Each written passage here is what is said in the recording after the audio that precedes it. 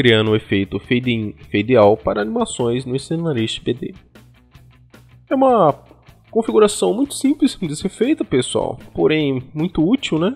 Para o menu não ficar tão assim simples, digamos, né? Porque com animações ele já está um pouquinho mais é, profissional, né? Então vamos estar criando um efeitozinho que vocês podem estar criando aí no seu menu também.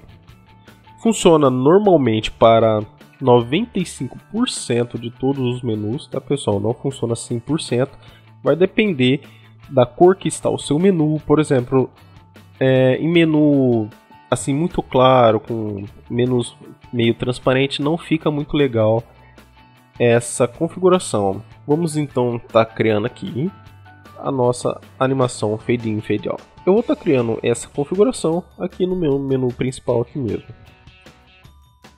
Eu vou estar tá deletando esse efeito que a gente criou na aula anterior e vou criar ele novamente. Eu vou estar tá vindo aqui menu principal,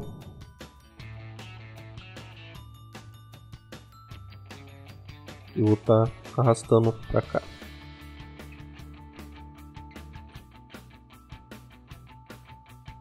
Pera aí, arrastei para o lugar errado aqui.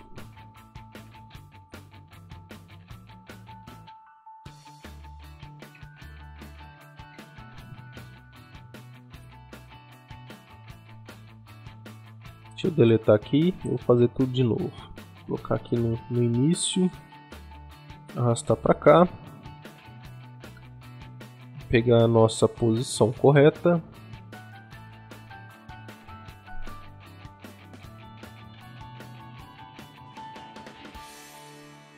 colocar aqui. Abaixo do vídeo, pessoal, vai estar tá essa paleta que eu vou estar tá disponibilizando para vocês, para vocês fazerem esse efeito Fade In, Fade Out. Aqui, pessoal, primeiramente vamos ter que criar uma nova paleta para que esse efeito funcione. Vamos clicar aqui com o botão direito no seu menu principal. Vamos estar vindo aqui em New, Virtual Asset. Vamos estar criando então uma nova paleta, vamos dar OK podemos estar renomeando essa paleta para é,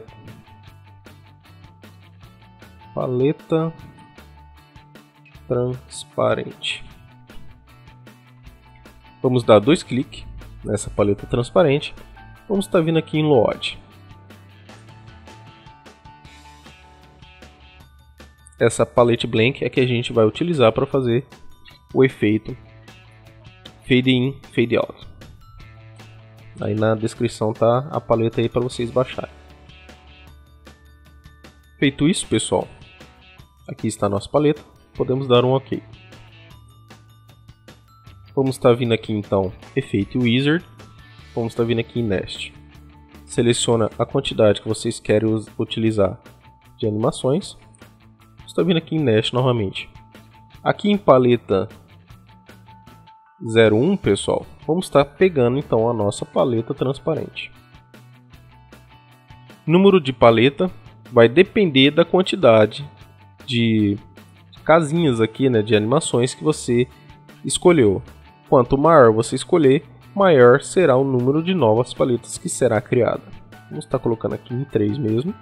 Vamos estar vindo aqui em Nest. Nest novamente, vamos estar criando a nossa animação. Vindo aqui, vamos dar um preview. Vamos estar colocando aqui o valor máximo. Nest, Nest e Finish. Ele vai criar esse seguinte efeito, pessoal.